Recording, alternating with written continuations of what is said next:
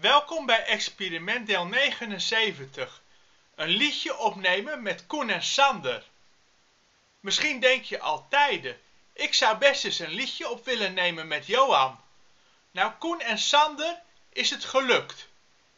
Ergens heel lang geleden, in 2013, toen YouTube er nog zo uitzag, belde op een gegeven moment op een mooie middag in de herfst Koen en Sander mij.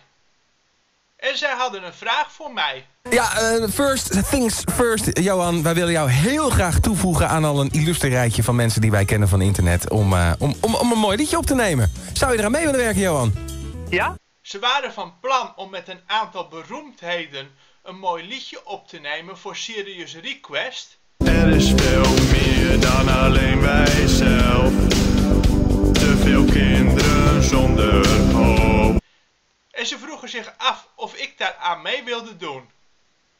Ja, dat kon ik natuurlijk niet weigeren. Voor het goede doel. En ze hadden helemaal de moeite genomen om mij te benaderen.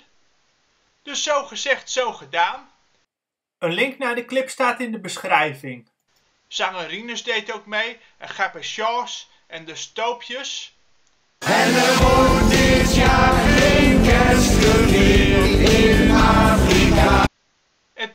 mooie middag hebben we in Hilversum dat liedje opgenomen. Nou, dat was hartstikke grappig. Het liedje ging meteen viral. Alleen Koen zat dat jaar ook in het glazen huis in Leeuwarden. Nou, dat was natuurlijk een mooie gelegenheid om het liedje ook nog eens een keertje live te zingen in het glazen huis. Om half drie s'nachts. Je moet je voorstellen, dan kom je daar midden in de nacht. Het hele plein stond nog vol met mensen. Maar zolang ik mijn mond maar hou, word ik niet zo heel snel herkend. In elk geval toen niet, in 2013, toen ik vooral bekend was van de stem van Wikipedia.org. Maar zanger Rinus, die werd wel herkend. Dus toen hij aankwam had hij grote moeite om bij de ingang van het glazen huis te komen. En ik kon zo doorlopen. Nou, in het glazen huis daar was ook Jan Smit.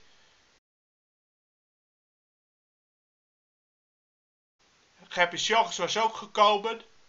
Nou, toen hebben we nog een keertje live vanuit het glazen huis voor de feestende menigte dat liedje gezongen. Dus ja, dat was hartstikke bijzonder. En zo nu en dan kom ik nog steeds dat liedje weer tegen. Dus ja, ik ben nu zo'n beroemdheid die ook heeft meegedaan aan een liedje.